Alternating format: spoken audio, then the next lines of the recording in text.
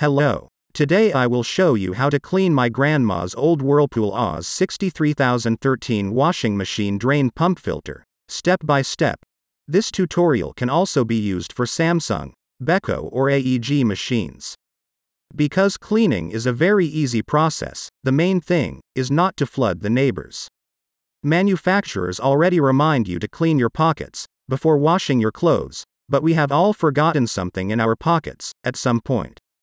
So I hope to find some grandma's golden nuggets while cleaning my grandmother's washing machine.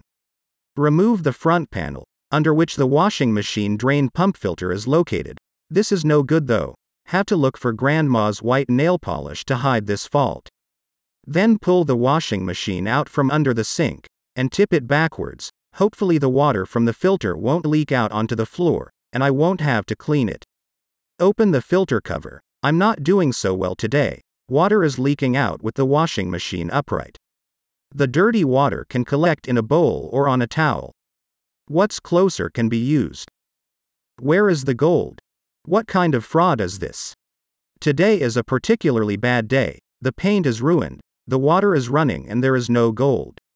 You can run down the washing machine to get all the dirt out. As I have opened the filter, I will wash it too, at least I will get some good karma points, if there was no gold spot. Then screw the cleaned filter back in, tighten it, so the neighbors don't flood the next time wash clothes. After that, just put the decorative plastic panel back on and you're done. Just have to think of something to say to grandma about the damaged paint. Have a better day than I had. Thank you.